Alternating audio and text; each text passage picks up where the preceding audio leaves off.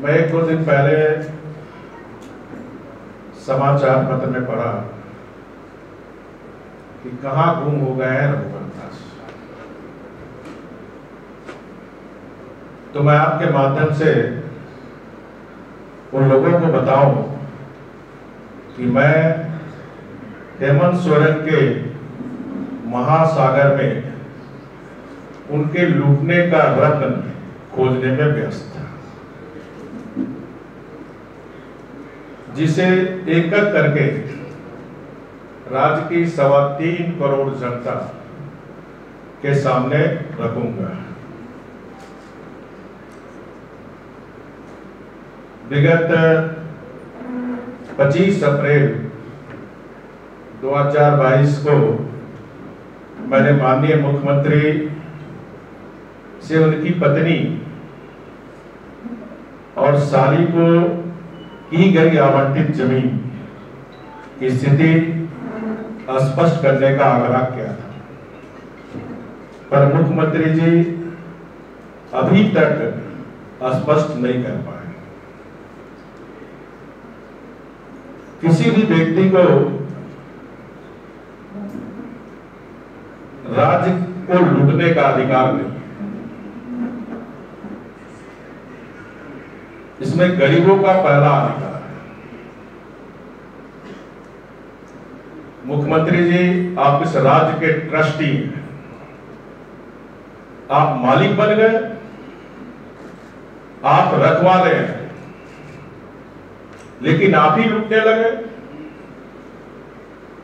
परिवार, सगे संबंधी अन्य सगे संबंधियों के साथ और इसीलिए मैंने एक, नारा, मैं कोई लेखक नहीं हूँ, मैं साहित्यकार हूँ। लेकिन इन घटनाओं को देखकर मैं कह सकता हूँ कि गरीब आदिवासियों के को दिखाया सपना, सारा सरकारी माल अपना। फिर से बोल रहा हूँ, गरीब आदिवासियों को दिखाया सपना, सारा सरकारी माल अपना। ये बात मैं इसलिए कह रहा हूँ, रघुवर दास तरफ़ से कहा गया कि ऐसे कुछ शब्द यूज़ करना मैं चाह रहा हूँ। लेकिन हम रघुवर दास को बेकार समझते हैं।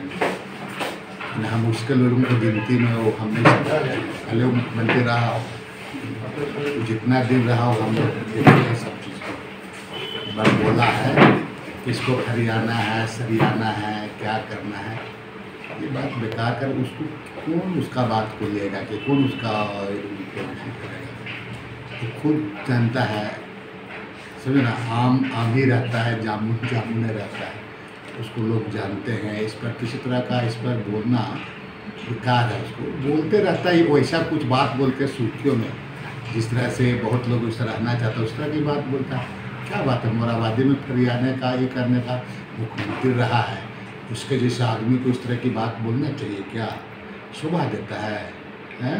ठीक। अरे मुख्यमंत्री है प्रेरणा स्रोत है कुछ अच्छा काम भी उनके द्वारा हुआ कुछ भी ये भी हुआ होगा।